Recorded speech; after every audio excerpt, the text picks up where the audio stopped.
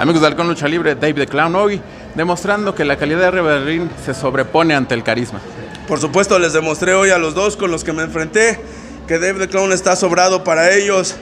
Un novato que, que, quiere, que quiere ponerse con un tigre y el espectro, un gran luchador, pero por supuesto que Dave the Clown siempre se va a imponer por el tamaño, por el peso, por la experiencia, por todo. Los dos rivales que me tocaron muy buenos, pero no mejor que Dave the Clown.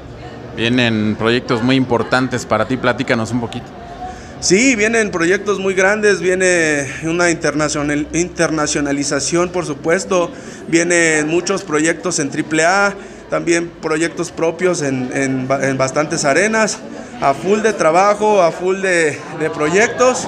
Entonces, este, pues nada, viene un año, esperemos que se mantenga así ya con, con esto de la pandemia para poder seguir con esa máquina en marcha.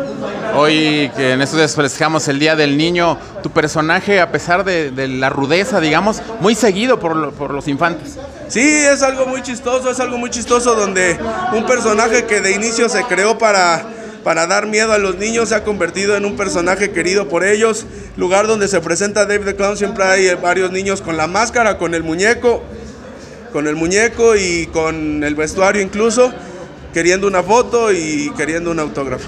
Mándale un saludo a todos los niños que te ven a través de Halcón Lucha Libre, por favor. Sí, un saludo a todos los niños hoy en su día. Espero que se la pasen muy bien, que disfruten a sus papás, que disfruten a sus abuelos si los tienen, que se la pasen de lujo, sean niños hasta que puedan. Así que les mando un gran saludo de parte de su amigo Dave the Clown. Y ya saben, pórtense bien, échenle ganas a la escuela o se los carga el payaso. Muchas gracias.